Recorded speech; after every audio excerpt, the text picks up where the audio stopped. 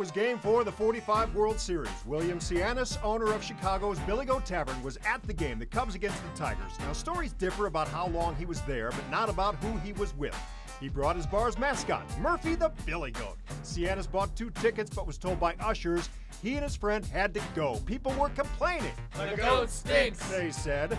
Ushered out of the ballpark, Sianis started raising his own stink. He vowed, The Cubs will never win a World Series as long as that goat's not allowed at Wrigley Field. The Cubs lost that series to the Tigers. Sianis sent a telegram to the Cubs asking, Who stinks now? Since then, the Cubs have been in the playoffs, but not the World Series. Not since that goat was shown the door, have the Cubs been back through that door onto baseball's biggest stage. They've tried to reverse the curse, but never have.